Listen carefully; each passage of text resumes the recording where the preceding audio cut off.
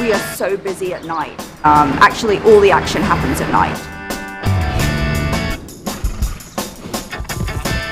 This is the ultra competitive and deeply rewarding world of breeding, the next generation of Kentucky's finest. Welcome to Foal Play.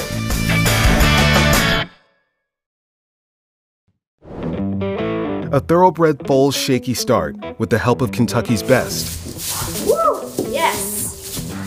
Got it.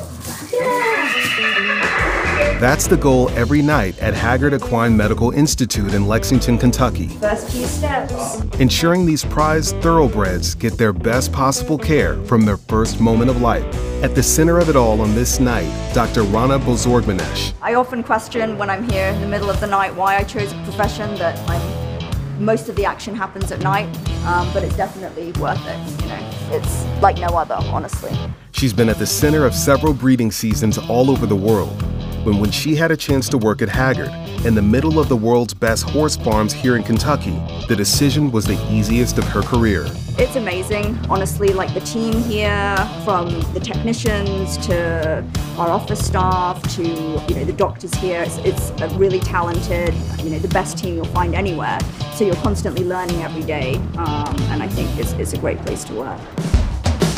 Every spring, when foals are born all across the bluegrass, the hospital gets busy, especially at night.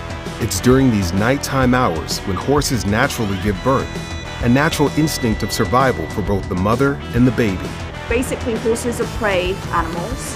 They foal at night so that it's dark, it's kind of more safe so that any predatory species are less likely to see them and, and find the foal. They're born ready to go, and that means that within a couple of hours, if a predator comes along, they can escape. While these horses don't have to worry about being hunted, their owners do worry about their health and well being. Sorry, we may have an emergency. Hello? Hey. Okay. Okay. Okay, thanks. Bye. There's a three-week-old foal coming that's not nursing and is lethargic.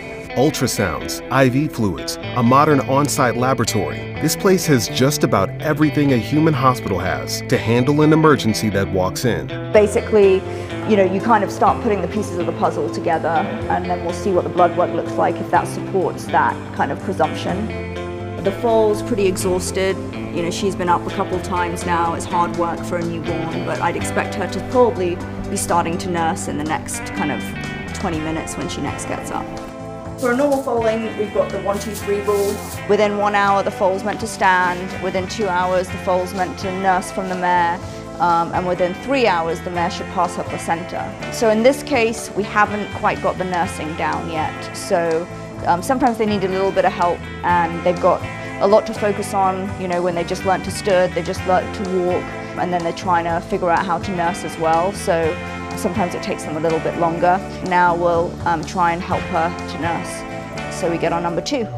Case after case comes through the doors, every case different, and Dr. Rana and her staff must stay positive through it all. These mares are tough and go through a lot, and you can lose hope. But one of my mentors always taught me horses live to humble you every day. So you shouldn't lose hope and, and they'll often pull through when you don't expect it. Standing by, ready to care for the world's premier racehorses, no matter the hour or the day. The staff here has dedicated their lives to this, and they wouldn't have it any other way.